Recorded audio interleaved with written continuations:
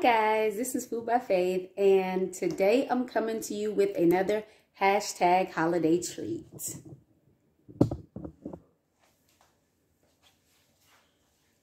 So today the treat that we are going to make is called a Sock It To Me cake. I was asked by one of our amazing soil sisters, would I do this cake for them? And of course I said yes.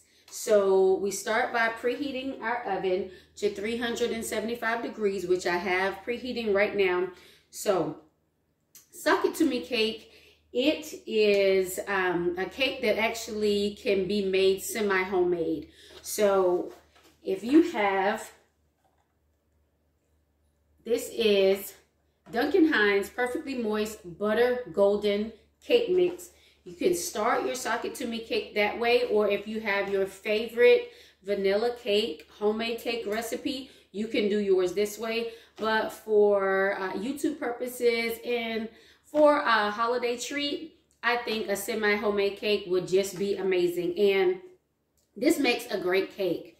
So we start with, oh, lit up our mixer. So we start with our bag of cake mix. Then we're going to add four eggs. We're going to add a quarter cup of sugar, one fourth cup of sugar, one fourth cup of water, and a third cup of oil.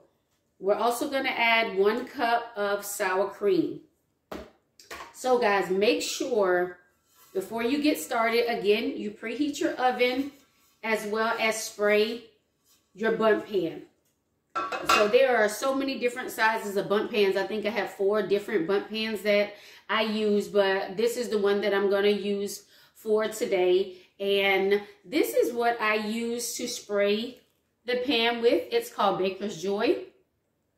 And then it's a mixture of flour and oil and it just kind of helps you out. There used to be a time where I would oil my pan with short, shortening and then um, shake the flour in there or I would spray the pan and then shake the flour in there. Well, now um, Baker's Joy as well as another brand, I believe it's Pam, that has it where the mixture is in there together. So it makes life so much easier for everyone.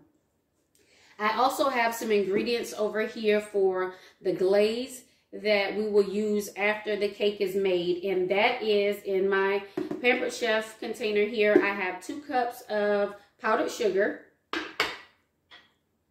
I have two teaspoons of homemade vanilla extract. And I have a tablespoon of milk. You can use um, nut milk if you so choose, soy milk for some of you who um, don't even want to use nut milks. And to sub the sour cream, you can use the Silk um, yogurt. So you can use, um, instead of sour cream, you can use the Silk yogurt as well as just regular Greek yogurt if you so choose. Those are great substitutes for your sour cream. Sorry, I had to step away and get a spoon. I have on occasions decided to pop these open and cake mix went everywhere. So guys, there is no shame in using cake mix and making a semi-homemade cake recipe. If it's going to save you time and you're still able to get an amazing holiday treat out to your family, do it. Go for it. I never attempt to shame anybody when it comes to my craft of food or gardening. Um, gardening comes first and then the food comes second because of course you need your garden to provide the food. But I always feel like do what you can do.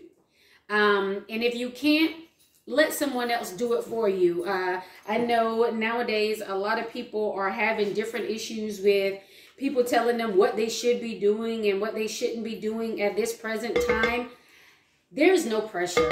When it comes to cooking, you just sit back, relax, turn on some good music. Um, one of our internet cousins, David Hunt, he plays some amazing, soothing music. And sit back, listen to him, and get your cook on. Never, ever, ever let what you do in your kitchen be stressful. So right now, guys, what you see me doing is the dump method. Basically, what I'm doing is adding all my ingredients that go into the cake, into the cake right now.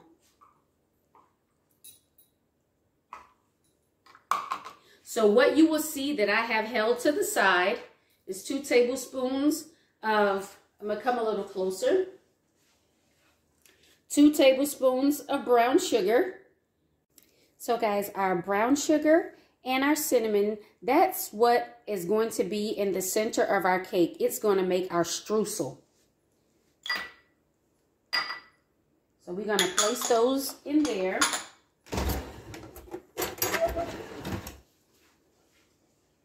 And I was tell as I was telling you earlier, this is a dump cake. So as you can see, I've already dumped in my oil. I dumped in my sugar. I dumped in my water. I put in my sour cream. We put in our cake mix. And now we're going to add our eggs one at a time, making sure that we're saving our shells for our compost.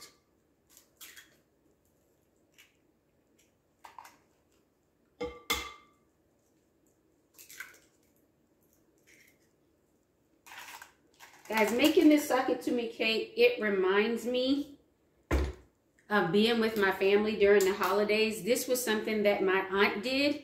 Um, for every holiday that we had, this was her cake. This was the cake that she prepared for everybody. And I mean, we took it out. I mean, seriously, we took it out. And uh, so I haven't eaten it in a little while. And that's because I was eating it entirely too much. So what we're going to do is, as you saw me doing earlier, I kind of hit the blender like that. And that is simply so that everything doesn't explode out of the blender. And now we're going to let it blend for about two minutes. And while that is blending, we're going to mix our cinnamon and our sugar. Because remember, that's what's going to make our streusel. So, in your streusel, you can also add nuts. Because my family doesn't really like nuts in their cake, I don't put nuts in it. So I only put the cinnamon, the brown sugar, and you can also add some cake mix in there as well. But for me, it's going to be the cinnamon and the brown sugar. And I'm going to add just a little powdered sugar in here as well. And the powdered sugar is an option. Just like adding the nuts are an option. Again, you don't have to worry about uh, taking down the ingredients as I say them because I may be speaking a little bit too fast um, for some of you guys to write because everything will be in the description box, okay?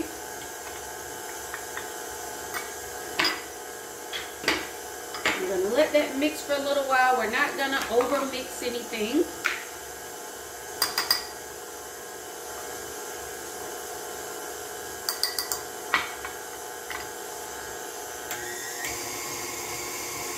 Just trying to make sure we don't have any lumps in our cake.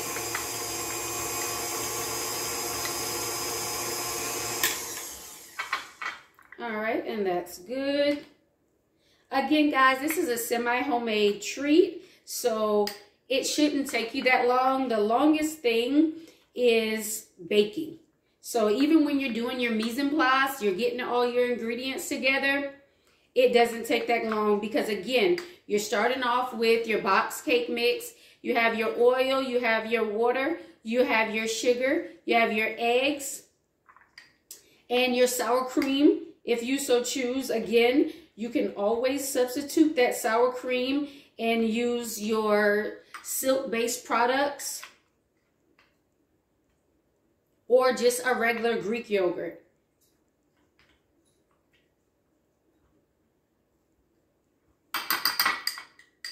All right, guys, as you can see, I have my streusel mix mixed up here. Just shuffle around a little bit of our mess here.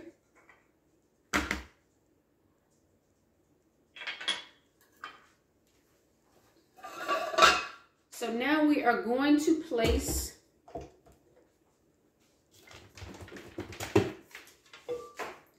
our cake in our cake pan, in our Bundt pan. And guys, this also can be done with a hand mixer if you do not have a stand mixer. It can be mixed by hand as well, but that's a lot of work. Before I was gifted this KitchenAid by my brother-in-law years ago, when I first started um, cooking in my kitchen. I was in the military. I had an old Sunbeam mixture, mixer, guys. And I mean, this was an old Sunbeam stand mixer. I actually purchased it from a thrift store on the military base at Fort Lewis, Washington. And that's where I was stationed at the time. So I purchased that Sunbeam stand mixer from that thrift store and I kept it at least for eight years. And again, it was an old mixer. It was already used, purchased from a thrift store, but it lasted me eight years. And then I bought a used KitchenAid. And then my brother-in-law gifted me with this wonderful KitchenAid, uh, brand new one for Christmas um, last year. So what we're going to do is we're going to put a little over half of our mixture into our pan.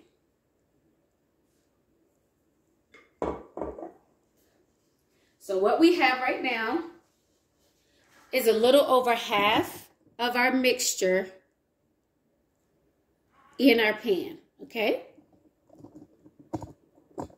And now what we're going to do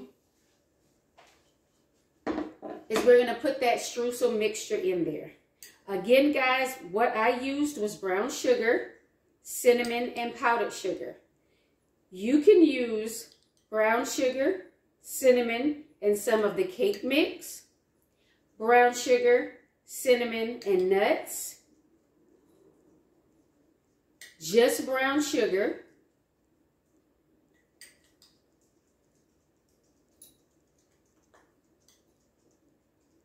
There are so many different variations that you can do to personalize this cake. Again, this is a holiday treat. This is something that we are making for our family. So there's no need to overcomplicate it. There's no need to make it stressful. Cooking is relaxing. It's fun. And it's engaging. So guys, we're going to put the rest of our cake batter in, just covering up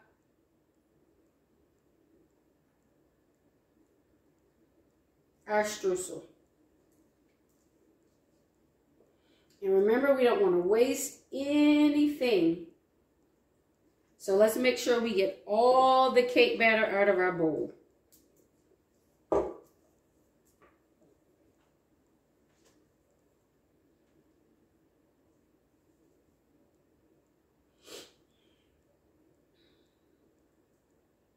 Guys, I don't know the real origin of Sock It To Me cake, but I do know that you can watch almost any African-American movie at holiday time and they are serving a Sock It To Me cake. I remember the first time I watched um, the movie This Christmas with Chris Brown and I saw them serving the Sock It To Me cake. I found that to be hilarious. Um, but the first time I ever saw a It To Me cake recipe was actually on this cake mix box. Um, on the back side, on the side actually of the cake mix box, they used to have different recipes that you could make with their cake mix. So guys, right now, we're going to put our cake into the oven. I'm going to bring you over so that you can see what our cake looks like and then we're going to put it, place it into the oven, okay?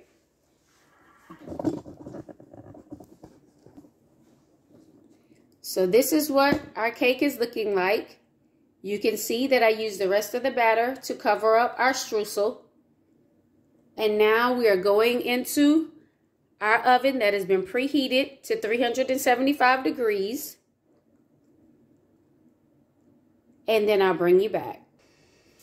All right, guys, we are back. So it's been just a quick minute for you guys, but it has been 35 minutes for me. I set the timer um, originally at 45 minutes, but um, I have a convection oven, so it works a little bit faster. It works similar to a air fryer, as some of you may have. Um, but in your regular conventional oven, it may take 35 to 40 minutes to bake this cake. So now we are going to take our cake out of the oven.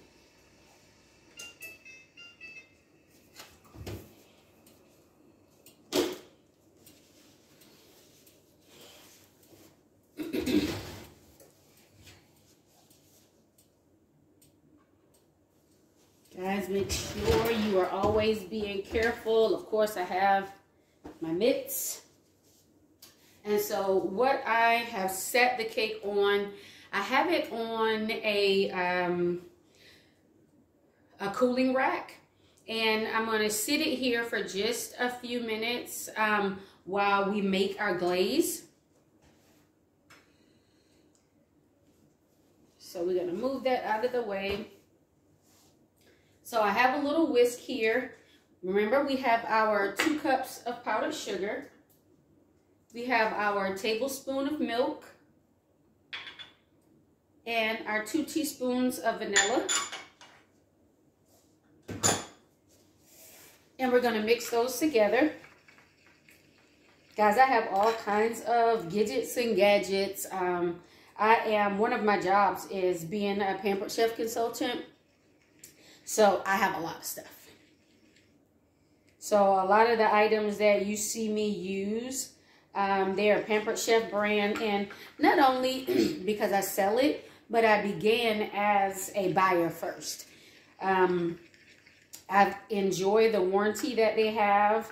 Again, I've talked about this in other videos that I have made that with Pampered Chef, a lot of the items, almost all of the items except for the food items, comes with a warranty. And all of the cookware comes with a lifetime guarantee. So if anything happens to it, you just send home office a picture and they'll replace it. Mennonite Farmhouse, you know what I'm talking about because she has a ton of Pampered Chef, just like I do. So guys, we're going to keep mixing this glaze and it's going to be thick and that's what you want. And I know two cups of powdered sugar seemed like a lot compared to the liquid that we had.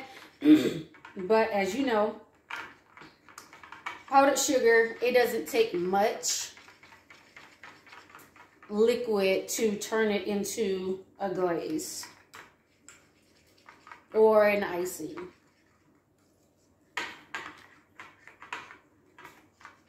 There is a sweet potato spice cake that I make. And I make an icing similar to this, but I add maple syrup to it. And oh my gosh, y'all. It, that, that thing hit different. It is amazing. So I'm going to bring you over so that you can see what my icing looks like. Or as some may call glaze. So this is what our glaze looks like right now. It's nice and thick.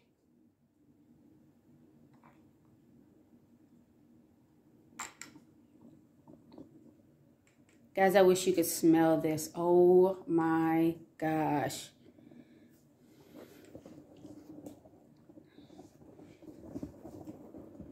So now what we're going to do is we're going to turn our pan, turn our cake out of our pan and let it rest on our cooling rack. And guys, what you will do, how I do this, uh, I place it on a trivet. I take my cooling rack and I place it on top of my cake pans. And this is how I do all of my cakes.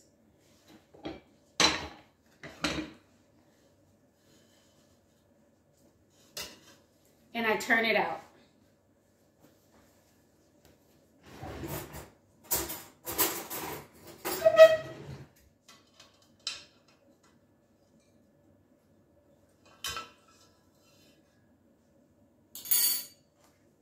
Guys, remember this pan is steaming hot. So make sure you are being careful. And there we have our Sock It To Me cake.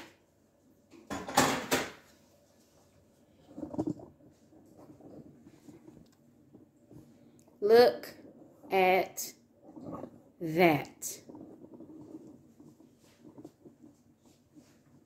Guys, it only took us maybe an hour altogether to be able to prepare this amazing cake.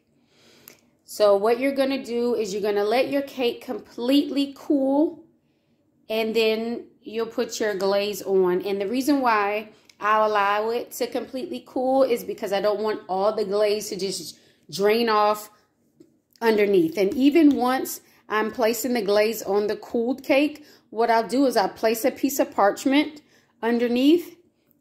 I'll pour my glaze over the top, starting with the center and then going to the outside. And any that drains down to the bottom, you can also take that and pour it back over, but that's only if you do it while your cake is hot. Because if you do your glaze while the cake is cold, whenever it drops down to the parchment, it will become a little stiff and you won't be able to just pour it back over the top.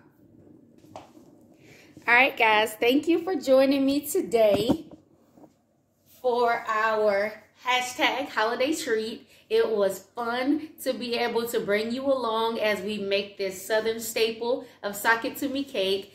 Guys, this is an amazing cake for any um, event that you are attending. It is something quick and easy for your family events. And guys, remember, have faith in your food, and get up, get out, and grow something. Thank you.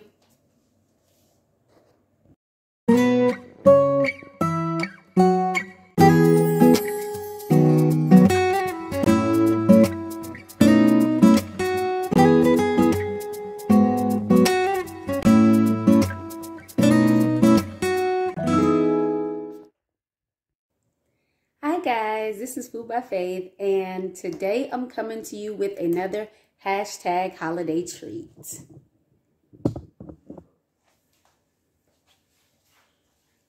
So today the treat that we are going to make is called a Sock It To Me cake. I was asked by one of our amazing soil sisters, would I do this cake for them? And of course I said yes. So we start by preheating our oven to 375 degrees, which I have preheating right now.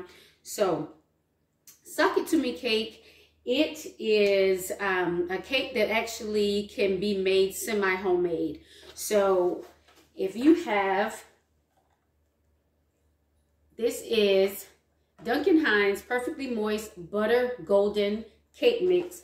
You can start your Sock It To Me cake that way, or if you have your favorite vanilla cake, homemade cake recipe, you can do yours this way. But for uh, YouTube purposes and for a holiday treat, I think a semi-homemade cake would just be amazing. And this makes a great cake.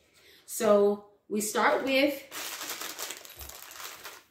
oh, lit up our mixer. So we start with our bag of cake mix. Then we're going to add four eggs. We're going to add a quarter cup of sugar, one fourth cup of sugar, one fourth cup of water, and a third cup of oil. We're also going to add one cup of sour cream. So guys, make sure before you get started, again, you preheat your oven as well as spray your Bundt pan. So there are so many different sizes of Bundt pans. I think I have four different Bundt pans that I use, but this is the one that I'm going to use for today. And this is what I use to spray the pan with. It's called Baker's Joy. And then it's a mixture of flour and oil and it just kind of helps you out. There used to be a time where I would oil my pan with short, shortening and then um, shake the flour in there or I would spray the pan and then shake the flour in there. Well, now um, Baker's Joy as well as another brand, I believe it's Pam, that has it where the mixture is in there together. So it makes life so much easier for everyone. I also have some ingredients over here for the glaze that we will use after the cake is made. And that is in my Pampered Chef container here. I have two cups of powdered sugar. I have two teaspoons of homemade vanilla extract. And I have a tablespoon of milk. You can use um, nut milk if you so choose, soy milk for some of you who um, don't even want to use nut milks. And to sub the sour cream, you can use the silk um, yogurt. So you can use, um, instead of sour cream, you can use the silk yogurt as well as just regular Greek yogurt if you so choose. Those are great substitutes for your sour cream. Sorry, I had to step away and get a spoon. I have on occasions decided to pop these open and cake mix went everywhere. So guys, there is no shame in using cake mix and making a semi-homemade cake recipe. If it's going to save you time and you're still able to get an amazing holiday treat out to your family, do it. Go for it. I never attempt to shame anybody when it comes to my craft of food or gardening. Um, gardening comes first and then the food comes second because of course you need your garden to provide the food. But I always feel like do what you can do. Um, and if you can't, let someone else do it for you. Uh, I know nowadays a lot of people are having different issues with people telling them what they should be doing and what they shouldn't be doing at this present time. There's no pressure.